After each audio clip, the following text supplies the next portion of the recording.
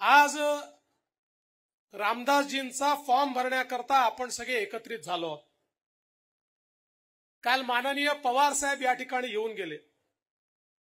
मी पवार साहेबांचे मनापासून आभार मानतो. जी गोष्ट आम्हाला जमली नाही ती पवार साहेबांनी करून दाखवली. आम्ही काँग्रेस मुक्त वर्धाचा नारा दिला जिल्हा परिषद जिंकलो एक सोडून सगळ्या आमदारकीच्या जागा जिंकलो नगरपालिका जिंकलो नगर परिषद जिंकलो पण आम्हाला पंजा मात्र गायब करता आला नाही.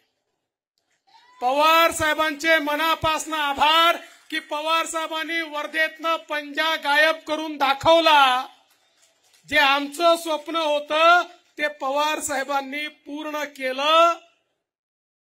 ज्या महात्मा गांधींचं नाव सांगून सांगून सांगून काँग्रेसने इतके वर्ष राजकारण केलं त्या महात्मा गांधींच्या वर्ध्यातनं काँग्रेसला हद्दपार करण्याचं काम शरद पवार साहेबांनी करून दाखवलं म्हणून त्यांचे आपण सगळे मनापासून आभार मानू.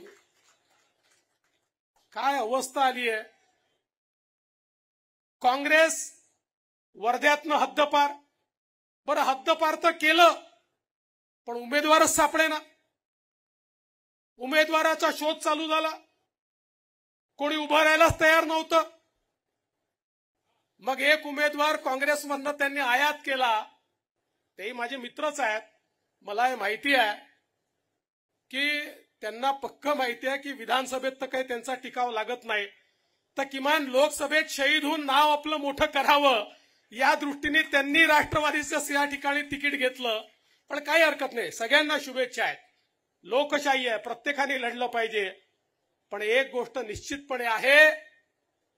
गांधीजींचं वर्धा न काँग्रेसचं न शरद पवारांचं ते मोदीजींचं आणि भाजपचं हे आता शिक्कामोर्तब झालेलं आहे.